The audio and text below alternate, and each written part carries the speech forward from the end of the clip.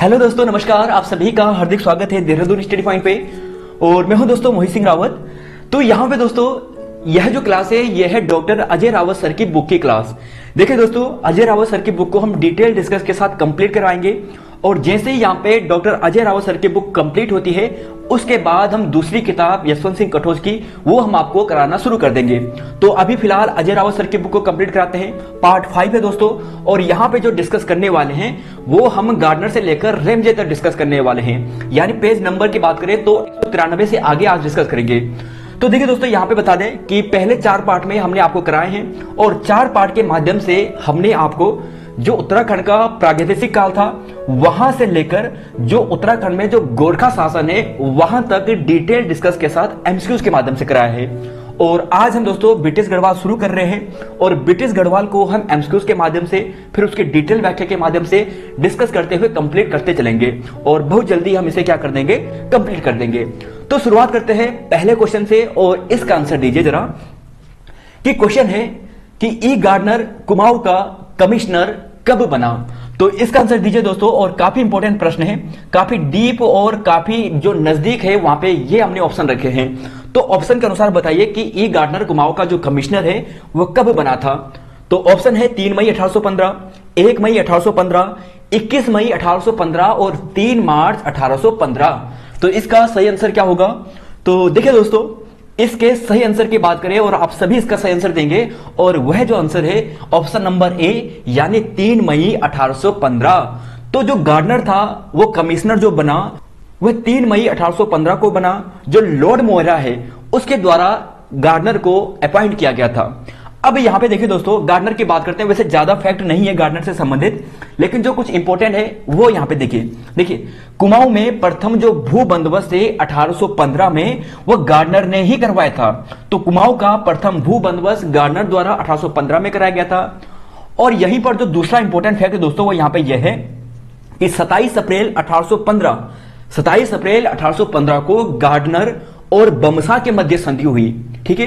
पर जब ये संधि हुई तो उस संधि के बाद जो बमसा थे और जो चामू भंडारी वगैरह और सैनिक थे, गोरखा सैनिक, वो गढ़वाल छोड़कर, कुमाऊं छोड़कर कहा जाने लगे नेपाल जाने लगे फिर यहाँ पे कुछ दिनों बाद, कुछ समय बाद, कुछ महीनों बाद एक संधि होती है, सगोली की संधि, जो काफ़ी इंपॉर्टेंट है। और यह जो संधि है दोस्तों, काफ़ी इंपॉर्टेंट है। तो देखिए, सगोली संधि से भी कुछ प्रश्न बनते हो, यहाँ पे देखिए कि कर्नल ब्रेडसा और गजराज मिश्र के मध्य यहाँ पे यह संधि हुई थी, सगोली की संधि 2 दिसंबर 1815 को।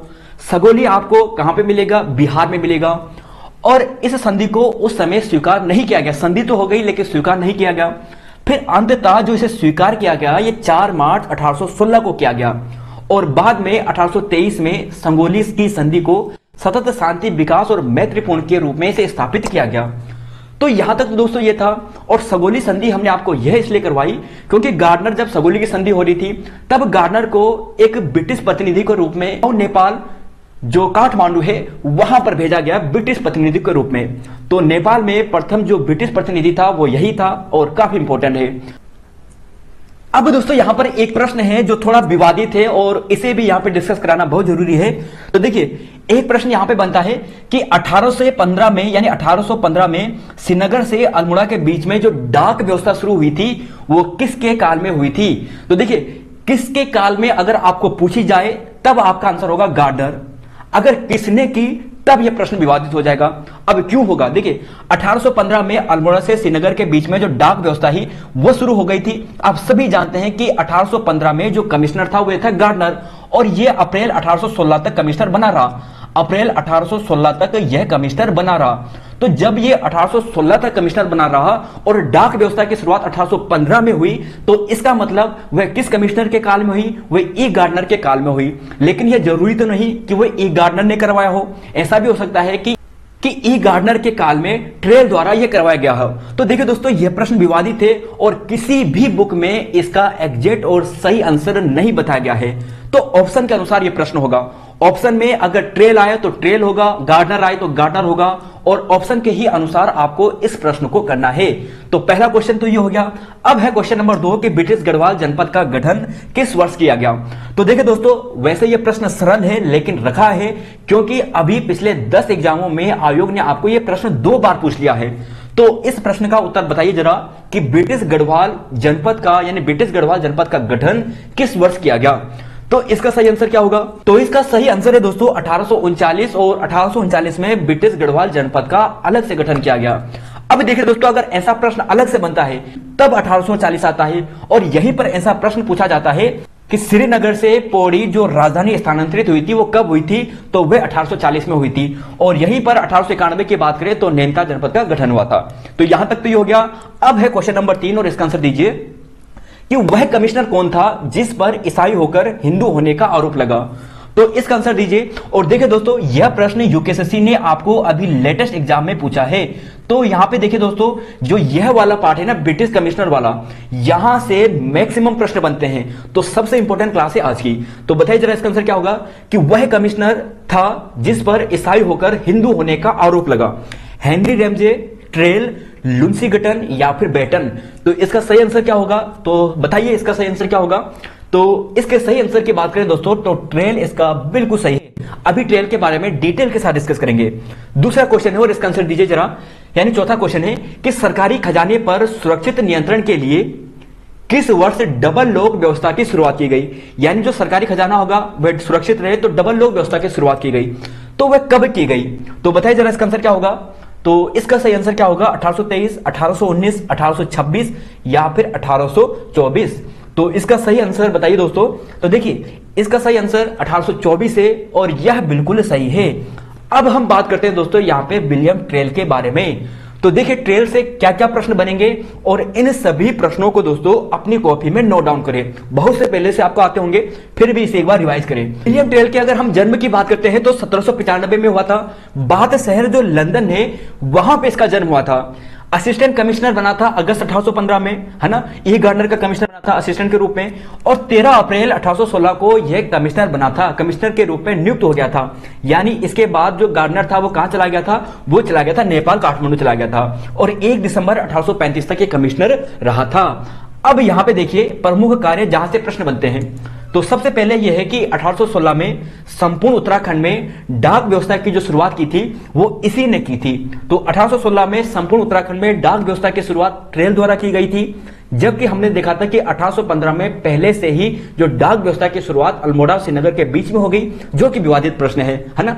अब है दूसरा फैक्ट देखिए।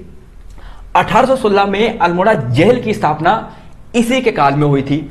तो 1816 में इसने अल्मोड़ा जेल की स्थापना करवाई। 1819 में नौ पटवारी पदों का इसने सृजन भी करवाया था।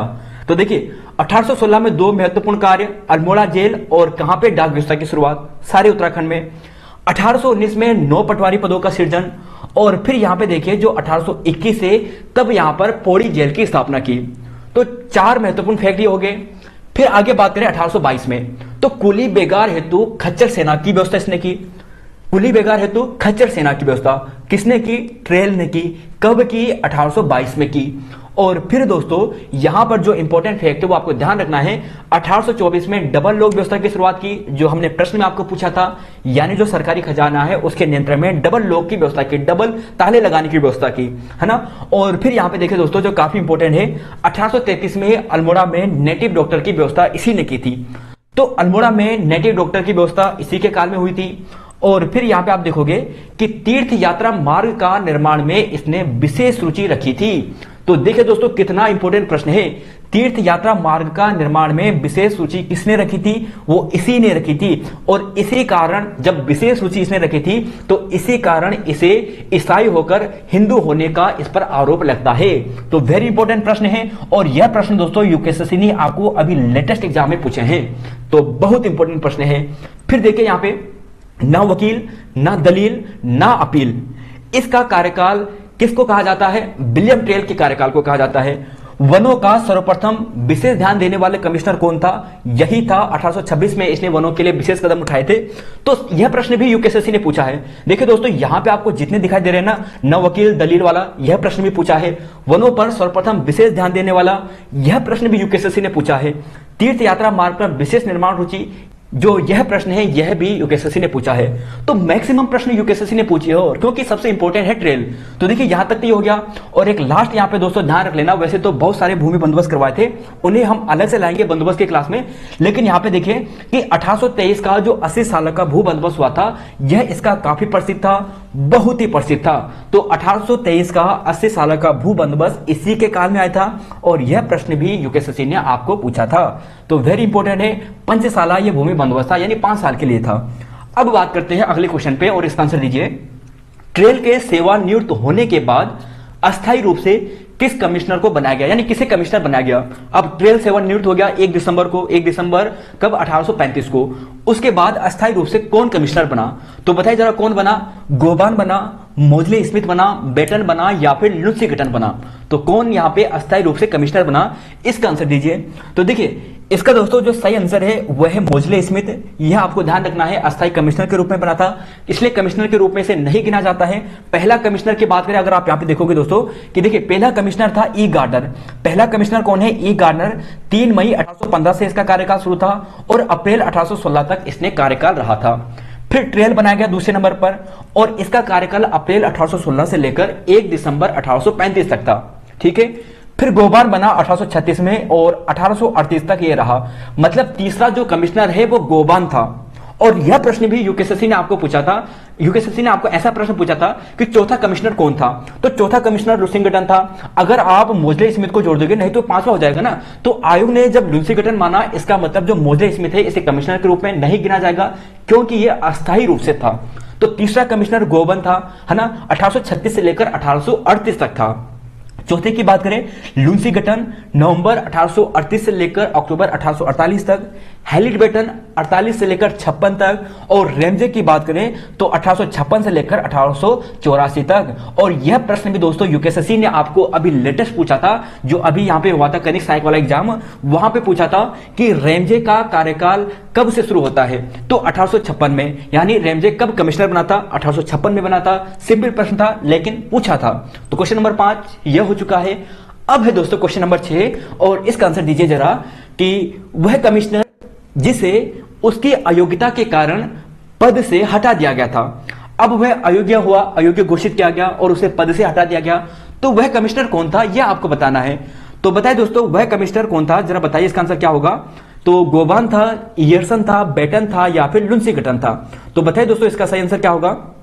तो इसका जो सही आंसर है, वह क्या होगा? तो देखिए दोस्तों, इसके सही आंसर की बात करें तो आप सभी इसका सही आंसर देंगे और गोबान जो है, वही इसका बिल्कुल सही है। अब गोबान से जो प्रश्न यहाँ पे इंपोर्टेंट है, वो आप यहाँ पे देखिए और इस क्वेश्चन नंबर सात के माध्यम से कि निम्न में से कौन सा कार्य गोबान के कार्यकाल में नहीं हुआ था? तो इसका आंसर दीजिए दोस्तों जरा कि मतलब सभी कार्य गोबान ने किए थे, है ना? 1836 से लेकर 1838 तक था।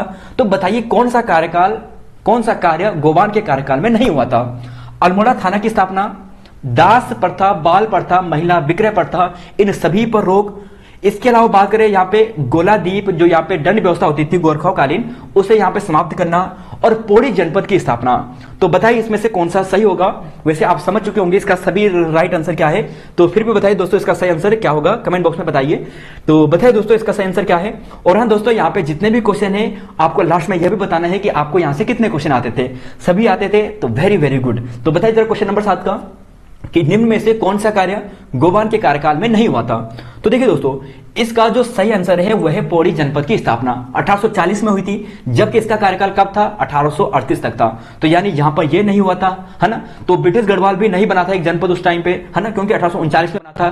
तो गोबान के कार्यकाल में यह नहीं हुआ था। बाकी ये सभी कार्य दोस्तों, यह गोबान के कार्यकाल में हुए। गोला दीप दंड व्यवस्था इसने शुरुआत की थी। अल्मोड़ा थाना की बात करें, देखिए पहले अल्मोड़ा जेल है और यह अल्मोड़ा थाना है। अल्मोड़ा थाना की बात करते हैं। तो देखिए, अल्मोड़ा थाना की बात करें दोस्तों तो अल्मोड़ा थाना आपको ध्यान रखना है, अठारह कब है, अठारह अल्मोड़ा थाना की स्थापना अठारह में किसके काल में हुई थी? इसी गोवान के काल में हुई थी। गोला द्वीप यानी जो गोला द्वीप दंड व्यवस्था होती थी, जो गोरखाकालीन वगैरह थी, उसे इसने समाप्त करवाया था। दास प्रथा का जो समाप्त है, इसी के काल में हुआ था।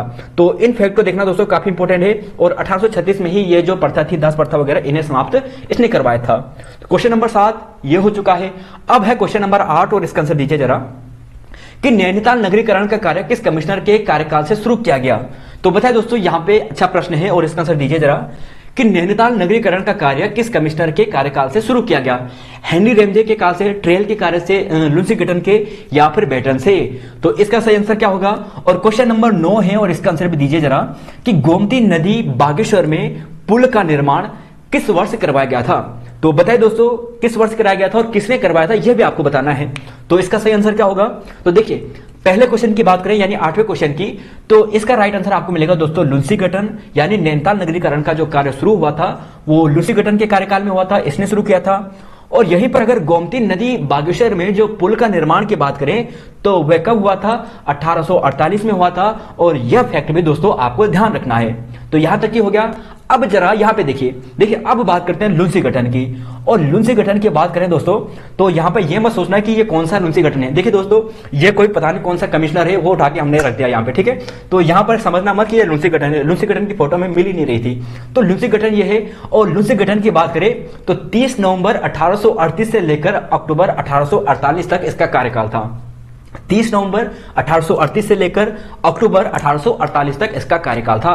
और सबसे इंपॉर्टेंट फैक्ट देखिए दोस्तों कि यह था ना, ये मृत्यु पर्यंत अपने पद पर बना रहा। मृत्यु पर्यंत, यानी जब इसकी मृत्यु हुई, उस समय तक यह कमिश्नर के पद पर था। तो ध्यान रखना, बहुत ही इंपॉर्टेंट फैक्ट है, आने वाले एग्ज़ाम में ऐसा पूछेंगे कि वह कमिश्नर कौन था कुमाऊं का, जो अपनी मृत्यु पर्यंत, यानी मृत्यु होते होते तक जो कुमाऊं का कमिश्नर था, उस पद पर था। तो ये लुंसी गठन था। 30 नवंबर 1838 से लेकर अक्टूबर 1848 तक इसका कार्यकाल था। और फैक्ट ये देखिए यहाँ पे कि नैनीताल नगरीकरण का कार्य इसी के काल से शुरू हुआ। बहुत इंपॉर्टेंट फैक्ट है। फिर आगे देखिए कि 1842 में जो नैनीताल नगर पालिका के गठन के लिए जो एक्ट टेन है, ये इसी के काल में पारित हुआ था। और फिर यहाँ पे देखे जो काफ़ी इंपोर्टेंट है कि गोमती नदी में बागेश्वर पुल का निर्माण अठारह में 1848 में अल्मोड़ा में डिस्पेंसरी कमेटी का गठन, जो औषधालय वगैरह होते हैं ना, उसकी कमेटी का गठन किया था 1848 में। और यहाँ पे देखिए दोस्तों, जो बहुत ही इंपॉर्टेंट फैक्ट है, वो यहाँ पर यह है, और इसे नोट डाउन करें आने वाले एग्ज़ाम के लिए। कि मई 1842 में गढ़वाल कुमाऊं में वर्नाक्रोल स्कूल की स्थापना इसी के काल में हुई थी, इसी ने करवाई थी मई 1842 में। तो वेरी इंपॉर्टेंट फैक्ट है, और एक और फैक्ट दोस्तों जो आपको ध्यान रखना है कि 12 अप्रैल 1845 में नैनीताल नगर पालिका का जो प्रथम बायोलॉज है, इसका अनुमोदन किया गया था। तो सिंपल पूछा जाएगा प्रश्न, नैनीताल नगर पालिका का जो प्रथम बायोलॉज था, वो कब अनुमोदित किया गया? अठारह सौ पैंतालीस अप्रैल बारह को किया गया। तो वेरी इंपॉर्टेंट फैक्ट है। और एक चीज़ दोस्तों यहाँ पे देखिए, और जो प्रश्न आपको यूकेसीसी ने आपको डीप लेवल का पूछा था, और वह प्रश्न दोस्तों यहाँ पे ये था कि अठारह में लावरिस फंड जो यहाँ पे था लावरिस फंड के माध्यम से श्रीनगर में स्कूल जो खोला था, वो किसने खोला था? वो खोला था हडलसन ने। और किसकी सहायता से खोला था? लुंसी गठन की सहायता से खोला था। तो देखिए दोस्तों, बहुत इंपॉर्टेंट फैक्ट है। और यह जो फैक्ट है ना दोस्तों, आपको अजय रावत सर की बुक से नहीं रखा है। यह मालूम है दोस्तों, हमने कहाँ से रखा है? यह रखा है हमने जो आर एस टोलिया जी की बुक है, वहाँ से यह फैक्ट हमने रखा है। और बहुत ही इंपॉर्टेंट है। तो यहाँ पर दोस्तों, हमारी कोशिश रहती है कि जो इंपॉर्टेंट फैक्ट होते हैं, उनका अच्छा सोर्स खोजकर आपको यहाँ पे प्रोवाइड कराएँ। तो ये दोनों जो फैक्ट है, आपको वो वहीं से है। अजय रावत सर की बुक से ये दोनों फैक्ट नहीं है। मई अठारह में गढ़वाल और कुमाऊं दोनों जगह वर्नाकुलर स्कूल की स्थापना इसी के काल में हुई थी। अठारह में जो प्रश्न यूकेएससी ने आपको पूछ लिया है लावर फंड के माध्यम से श्रीनगर में स्कूल की स्थापना हडलसन के सहायता से की गई थी। तो लुंसी गठन से आपको इतने पॉइंट याद करने हैं। तो यहाँ तक ही हो गया। अब देखिए, यहाँ पे क्वेश्चन नंबर दस है और क्वेश्चन नंबर ग्यारह। अल्मोड़ा कमिश्नरी को नैनीताल में परिवर्तित किया गया और यह प्रश्न भी दोस्तों यूकेएसएससी ने आपको अभी लेटेस्ट एग्ज़ाम में पूछा था। तो देखिए दोस्तों, सभी प्रश्न एक से बढ़कर एक है और इन सभी प्रश्न ऐसे हैं कि ऐसा लगेगा कि आने वाले एग्ज़ाम में यही प्रश्न आपको डायरेक्ट पूछा जाएगा। तो वेरी इंपॉर्टेंट प्रश्न है। हर एक प्रश्न को अपनी कॉपी में नोट डाउन करें। और उसे याद भी करें। तो क्वेश्चन नंबर दस ये हो गया, अल्मोड़ा कमिश्नरी को नैनीताल परिवर्तित किया गया। नैनीताल कमिश्नरी कब परिवर्तित किया गया? नैनीताल में परिवर्तित किया गया। तो बताइए, सितंबर अठारह अक्टूबर अठारह सितंबर अठारह या फिर नवंबर अठारह तो बताइए दोस्तों, इसका सही आंसर क्या है? और अगर आप दोस्तों इसका सही आंसर देंगे तो बहुत ही बढ़िया बात है। तो इसका सही आंसर क्या होगा? तो जी हाँ दोस्तों इसका जो सही आंसर है, वो है अक्टूबर 1855 कब है? अक्टूबर 1855 आयोग ने अभी दिया था प्रश्न, लेकिन डिलीट कर दिया था, क्योंकि आयोग ने ऑप्शन में 1855 नहीं दिया था। तो ध्यान रखना, अक्टूबर 1855 इसका बिल्कुल सही है। डॉक्टर अजय राव सर की बुक का ये प्रश्न है। अब है क्वेश्चन नंबर ग्यारह, और इसका आंसर दीजिए जरा। कि श्रीनगर में बना जो प्रथम संस्पेशन पुल है, ये पूर्ण रूप से कब बनकर तैयार हुआ? अब पूर्ण रूप से पूछा है कि कब बनकर तैयार हुआ? और यहाँ पे दोस्तों आप यह भी बताएँ कि यह पुल किसके द्वारा बनवाया गया था, है ना? तो बताए दोस्तों ये किसके द्वारा बनाया गया था और पूर्ण रूप से कब बनकर यह तैयार हुआ? तो इसका आंसर दीजिए दोस्तों, क्या होगा इसका सही आंसर? तो बताइए जरा इसका सही आंसर क्या होगा? तो जी हाँ दोस्तों, इसके सही आंसर की बात करें तो यह मिलेगा आपको अठारह सौ तिरपन और यह बिल्कुल सही है। जब यह पुल बना था तो यह बनाया था स्टेची ने। किसने बनाया था? स्टेची द्वारा इस पुल का निर्माण कराने में विशेष योगदान था और बात करें इसके बनाने का जो कुल खर्चा आया था, वो सत्रह अठहत्तर रुपए आया था। यानी सत्रह हज़ार अठहत्तर रुपए, यानी लगभग सत्रह हज़ार रुपए का इस पर क्या आया था, खर्चा आया था इस पुल के निर्माण करने में। तो बहुत इंपॉर्टेंट प्रश्न है दोस्तों, इसे ज़रूर नोट डाउन करना। अब यहाँ पे देखते हैं, देखिए, यह जो कार्यकाल था हेलिट बेटन का कार्यकाल था। और हेलिट बेटन के कार्यकाल से जो इंपॉर्टेंट प्रश्न बनेंगे दोस्तों, वह क्या है? अब देखिए, कार्यकाल की बात करें 1848 से लेकर अठारह तक। कार्यकाल 1848 से 1856 तक था। फिर यहाँ पे देखिए कि ब्रिटिश कमिश्नरी का जो स्वर्ण काल था, वो इसी को कहा जाता था। कुछ स्टूडेंट हो सकते हैं कंफ्यूज हो जाए कि हेनरी रेमजे नाम सुनकर। नहीं दोस्तों हेनरी रेमजे नहीं है। जो हेलिट वेटन है, इसी के काल को ब्रिटिश कमिश्नरी का स्वर्ण काल कहा जाता है, क्योंकि प्रशासनिक सुधार इसने बहुत ज़्यादा किए, बहुत अनुभव था इसे। लूसी गठन के कार्यकाल से था, है ना? तो इसे बहुत ज़्यादा अनुभव था और ब्रिटिश कमिश्नरी का जो स्वर्ण काल है, वो इसी के काल को कहते हैं। फिर देखिए कि बेटन के काल में ही इसके कमिश्नर यानी असिस्टेंट जो सीनियर कमिश्नर थे इसके अंदर अंतर्गत वह थे, एक था कमिश्नर था स्टेची और जो हेनरी रेमजे था, वह भी इसके अंतर्गत था, यानी यह भी इसका असिस्टेंट था, है ना? और इसने अठारह में श्रीनगर में संस्पेशन जो पुल है, इसका निर्माण करवाया, है ना? और जिसकी लागत सत्रह हज़ार रुपए आई थी। तो बहुत इंपॉर्टेंट है। अब दोस्तों, यहाँ पर जरा एक फैक्ट ध्यान रखना स्टेची से, और वह यह है कि स्टेची को नॉर्थ प्रोविंस का जो लेफ्टिनेंट गवर्नर है, वह नियुक्त किया गया था। और इसके अलावा दोस्तों, यह बाद में जो गवर्नर जनरल है, उसके काउंसिल में भी ये सिलेक्ट हुआ था, उसके काउंसिल में भी यह व्यक्ति था। तो स्टेची बहुत इंपॉर्टेंट व्यक्ति है है ना? और फिर यहाँ पे कुछ और फैक्ट देखिए कि सितंबर 1850 में बमोरी अल्मोड़ा मार्ग का निर्माण में जो सर्वेक्षण का कार्य था, वह हेलिड बेटन के काल में हुआ था। यह भी काफ़ी इंपॉर्टेंट है। और फिर आगे देखिए कि अल्मोड़ा कमिश्नरी से नैनीताल कब ट्रांसफ़र हुई थी? अक्टूबर अठारह में हुई थी।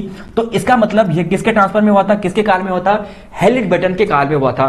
लेकिन जब हेलिड बेटन ने अक्टूबर अठारह सौ पचपन में जब ये ट्रांसफ़र किया था तो उसके चार महीने बाद ही, उसके चार महीने बाद ही ये कहाँ चला गया था? लंदन वापस चला गया था। तब इसका जो पूर्ण विकास किया था कमिश्नरी का नैनीताल में, वो अगले कमिश्नर जो हैनी रेमजे था, उसने करवाया था। तो यह फैक्ट काफ़ी इंपोर्टेंट है। और इसके अलावा यहाँ पे देखिए कि 1840 में जो आठवां भू बंदोबस्त था, जिसे 20 साल बंदोबस्त भी कहते हैं 20 साल वाला बंदोबस्त, जिसे खसरा या सर्वेक्षण पर आधारित था, वो इसी के, इसी ने करवाया था। यानी उस समय कमिश्नर नहीं था, उससे पहले भी इसने ये बंदोबस्त करवा दिया था। यानी इसे कमिश्नर, यानी जो लैंड सेटलमेंट है, उसका इसे अतिरिक्त कार्यभार सौंपा गया था। तो बहुत इंपॉर्टेंट व्यक्ति है दोस्तों यहाँ पे ये, और एक चीज़ दोस्तों यहाँ पे ध्यान रख लेना कि इसने जो डाक बंगले है, उस पर विशेष ध्यान दिया था और ध्यान रख लेना, एक फैक्ट कभी क्या पता भूले भी से आपको पूछ लिया जाए कि अठारह में जो डाक बंगले वगैरह होते हैं ना, वहाँ पे उसने यात्रियों के लिए वो छोड़ दिया था, यानी यात्री वहाँ पे विश्राम कर सकते थे। तो यह एक फैक्ट है, वैसे इतना डीप नहीं है, लेकिन ध्यान रख सकते आप, पूछा जा सकता है। 1850 आपने ये फैक्ट देख लिया है है ना? तो यहाँ तक तो दोस्तों, यहाँ पर इन फैक्टों को आपको इतना ही याद करना है और यही आपको पूछे जाएँगे। अब बात करते हैं अगले क्वेश्चन पे। क्वेश्चन नंबर बारह है कि नैनीताल को स्कूली शिक्षा के रूप में विकसित करने का जो श्रेय जाता है वो किसके काल को? हैनी रेमजे ट्रेल लुंसी गटन बेटन यह प्रश्न भी यूकेएसएससी ने पूछा है। तो देखिए दोस्तों, यहाँ पे हमने जितने प्रश्न रखे हैं 99 जो क्वेश्चन है वो यूकेएसएससी ने आपको पूछे हैं। तो बहुत इंपॉर्टेंट है, हर एक प्रश्न आपको याद होना चाहिए। अगर अभी तक आपको याद नहीं है नैनीताल को स्कूली शिक्षा के विकसित करने का श्रेय किसे जाता है? और यह जो जाता है दोस्तों, यह जाता है हैंडी रेमजे को। हैंडी रेमजे के बारे में भी देखते हैं। तराई इंप्रूवमेंट फंड की स्थापना किस वर्ष की गई? और यह प्रश्न भी यूकेएसएससी ने आपको पूछा था। तो इसका आंसर क्या होगा? तो जी हाँ दोस्तों, अगर इसके आंसर की बात करें तो अठारह इसका बिल्कुल सही है। हेनरी रेमजे ने ही इसका किया था। अब है शेरवुड कॉलेज की स्थापना। देखिए दोस्तों, अजय रावत सर की बुक में यह मिस प्रिंट है। इसे आप बिल्कुल सही कर दीजिएगा। और इसके सही आंसर की बात करें तो वह मिलेगा आपको 1869 अजय रावत सर की बुक में 1867 हो गया है, जो मिस प्रिंट है, आप इसे सुधार ज़रूर कर लेना, क्योंकि जो शेरवुड कॉलेज की जो स्थापना हुई थी, वो 1869 में, यानी 1869 में हुई थी। तो ठीक है, यहाँ तक हो गया है। अब जरा यहाँ पे दोस्तों बात कर लेते हैं हेनरी रेमजे के बारे में। तो ये महोदय हैं हेनरी रेमजे है ना? इसे कुमाऊं का बेताज बादशाह कहते हैं, है ना? अठारह की जब क्रांति हुई थी तो उस समय कमिश्नर कौन था? यही था हेनरी रैमजे। ऐसा प्रश्न भी यूकेएसएससी ने आपको पूछा है। अब देखिए प्रश्न। देखिए, कार्यकाल है अठारह से लेकर अठारह तक। डलहोजी का ये चचेरा भाई था। डलहोजी का ये चचेरा भाई था। तो डलहोजी का ये चचेरा भाई था, मूल था ये स्कॉटलैंड का निवासी था। स्कॉटलैंड, जो यू है, वहाँ का ये निवासी था। फिर आगे देखिए कि अठारह में कुष्ठ आश्रम अल्मोड़ा की इसने स्थापना की थी। देखिए, उस समय कमिश्नर नहीं था, लेकिन अठारह सौ चौवन में इसने अल्मोड़ा में कुष्ठ आश्रम की स्थापना कर दी थी। तो वेरी इंपॉर्टेंट फैक्ट है कमिश्नर ना होते भी क्योंकि वो असिस्टेंट उस समय था असिस्टेंट सीनियर कमिश्नर था उस समय, और उस समय उसने अठारह सौ चौवन में कुष्ठ आश्रम की स्थापना अल्मोड़ा में की थी। यह भी वेरी इंपॉर्टेंट फैक्ट है, यानी कुष्ठ आश्रम जो कुष्ठ व्यक्ति होते थे, उनके उनके प्रति इसने बहुत दया दिखाई थी। तो यहाँ तक ही हो गया। फिर देखिए कि अठारह के पश्चात नैनीताल को स्कूली शिक्षा के रूप में विकास करने का जो श्रेय जाता है, वो हेनरी रेमजे को जाता है। और दोस्तों, यह प्रश्न भी यूकेएसएससी ने आपको पूछा है। तो देखिए दोस्तों, मैक्सिमम प्रश्न, बोल रहा हूँ ना दोस्तों 99 परसेंट जो प्रश्न है यूकेएसएससी आपको पूछ चुका है। तो सारे इंपॉर्टेंट प्रश्न है, इन्हें आप ज़रूर याद कीजिए। फिर देखिए, यहाँ पे तराई इंप्रूवमेंट फंड अभी बात की थी, अठारह में की थी। फिर देखिए, अठारह में प्रथम जो मेथोडिस्ट चर्च है उसकी स्थापना नैनीताल में की गई थी। कहाँ पे की गई थी? नैनीताल में। तो नैनीताल में प्रथम मेथोडिस्ट चर्च की स्थापना की गई थी। पादरी विलियम बटलर के द्वारा की गई थी। और अब यहाँ पे देखिए कि 1867 में नैनीताल में कोई छोटा सा भूस्खलन आया था ना? अब जब यह भूस्खलन आया तो हेनरी रेमजे काफ़ी यहाँ पे क्या हो गया? सतर्क हो गया। और सतर्क होने के बाद इसने 1867 में हिल साइड सेफ्टी कमेटी का गठन कर दिया या स्थापना कर दी, ठीक है? तो काफ़ी इंपॉर्टेंट है। और फिर यहाँ पे देखिए कि नैनीताल में भयंकर भूस्खलन आया था।